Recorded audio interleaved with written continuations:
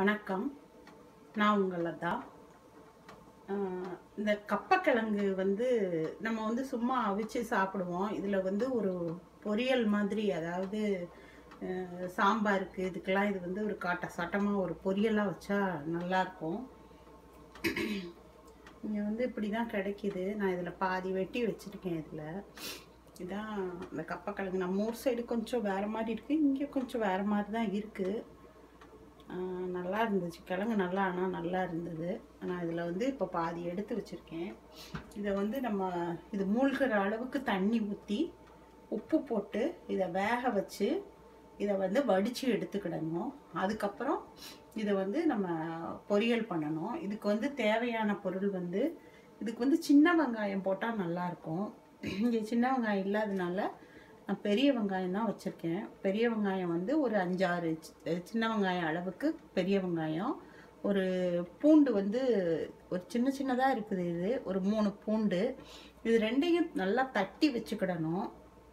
எண்ணெயை காய வச்சு கடுகு இந்த வத்தல் ஒரு வத்தல் கிள்ளி வச்சுருக்கேன். இந்த வத்தல் போட்டு கடுகு போ போட்டு வத்தல் போட்டு கருவேப்பிலை போட்டு எண்ணெயில் வந்து வத்தத்தூள் மஞ்சள் தூள் போட்டு இந்த வேக வச்ச இந்த கப்பையை போட்டு உப்பு போட்டு கிண்டி நம்ம வந்து இது வந்து அவ்வளோதான் இது ரொம்ப நல்லாயிருக்கும் இது ஒரு நம்ம சாம்பார் வச்சு இதை வச்சு சாப்பிட்டாலுமே நல்லாயிருக்கும் இல்லை வெறும் பருப்பு சாதத்துக்கு கூட இது ரொம்ப நல்லாயிருக்கும் இது நம்ம எப்படி செய்யலாங்கிறத இப்போ பார்க்கலாம். இப்போ வந்து இந்த கப்பக்கிழங்கு வேக வைக்கிறதுக்கு வந்து நான் தண்ணி கொதிக்க வச்சுருக்கேன். இதில் வந்து நம்ம கப்பையை வந்து வெட்டி போட்டு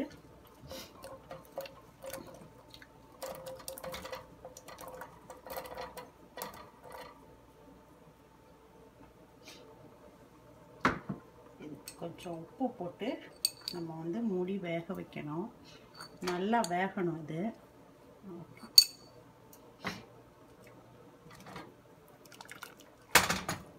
வந்து இந்த கப்பை வேகட்டும். இதை எப்படி தாளிக்கிறதுங்கிறத பார்க்கலாம் இந்த கப்பையை வந்து அவிச்சு வச்சுருக்கேன். இந்த மாதிரி அவிச்சு வச்சுருக்கேன் நல்லா.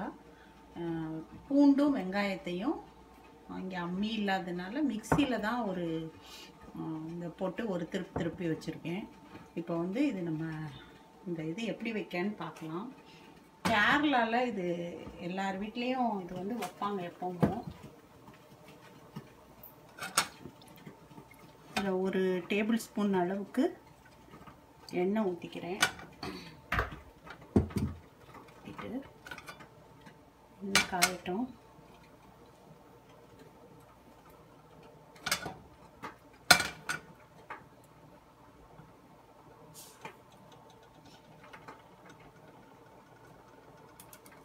கொஞ்சம் கடுகு கடுகு பொரியணும்.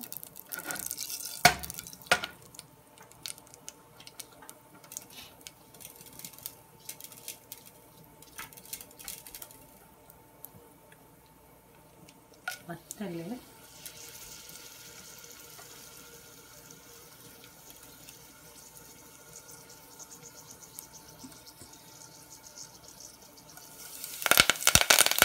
கருவேப்பிலை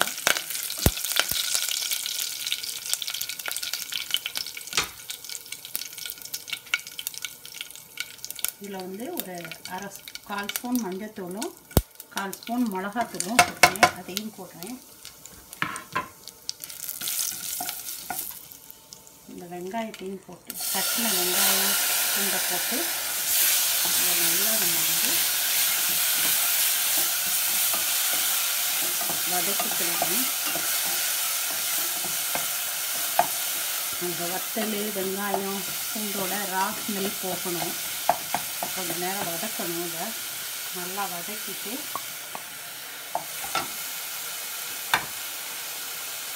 நம்ம வந்து கப்பைக்கு வந்து உப்பு போட்டு அவுத்து வச்சுருக்கோம். அதனால் நான் வந்து இந்த மசாலுக்கு மட்டும் தேவையான அளவுக்கு கொஞ்சம் உப்பு போட்டுக்கிறேன்.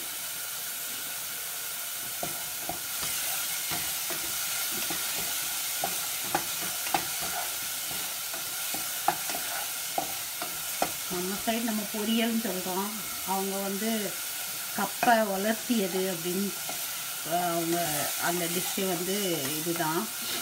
நம்ம வந்து இது பொரியல்னு சொல்லிக்கிட்டு இருக்கோம்.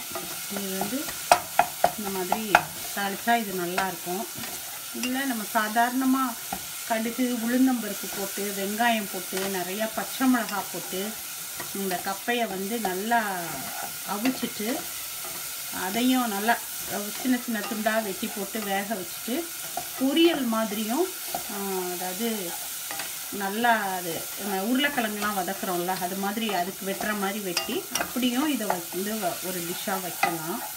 அதுவும் நல்லா தான் இருக்கும். இது வந்து கொஞ்சம் காரசாரமாக இது இருக்கும். அந்த கப்பை வந்து கொஞ்சம் சப்புன்னு இருக்கிறனால நம்ம வந்து இது கொஞ்சம் காரசாரமாக இதை வச்சோம்னா நல்லாயிருக்கும் இல்லை இதை வெறுமனே நீங்கள் வந்து அவிச்சிட்டு வெல்லம் வச்சு இதை சாப்பிட்டீங்கனாலும் ரொம்ப டேஸ்ட்டாக இருக்கும் அது. வெள்ளத்துண்டை கடிச்சிக்கிட்டே அந்த அவிச்ச கப்பையை வச்சு சாப்பிடணும். அவங்க வந்து சாதத்துக்கு பதிலாக மீன் குழம்பு எல்லாத்துக்கும் வந்து இந்த கப்பையை வந்து வேக வச்சு பால் கப்பைன்னு சொல்லி நல்லா அதை வந்து வேக விடுவாங்க. வேக விட்டு தேங்காய் பால் எடுத்து வேக விட்டு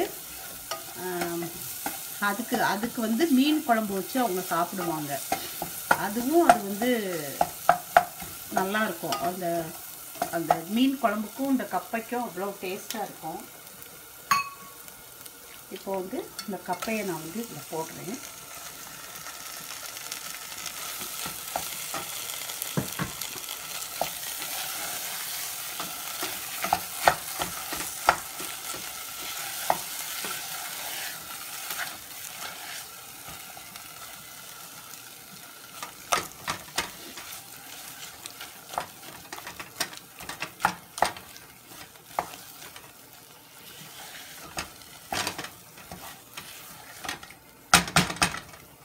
நம்ம மசால் உருளைக்கிழங்குலாம் வைப்போம்ல அது மாதிரி தான் இதுவும்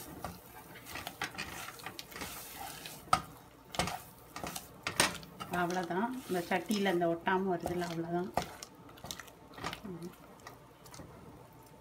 நீங்களும் இதை கண்டிப்பாக எல்லாரும் செஞ்சு பாருங்கள் நல்லாயிருக்கும் உங்களோட கருத்துக்களை எனக்கு எழுதுங்க.